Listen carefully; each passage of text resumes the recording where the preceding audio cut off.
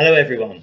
Well, I should have been welcoming you today to the opening session of the FTA's Future Logistics Conference at the ITT Hub in Farnborough, where I would have been talking about my experiences in space and what they can tell us about the transportation and logistics systems of tomorrow. I was really looking forward to seeing all the new developments and actually experiencing the very latest technology in the ride and drive area.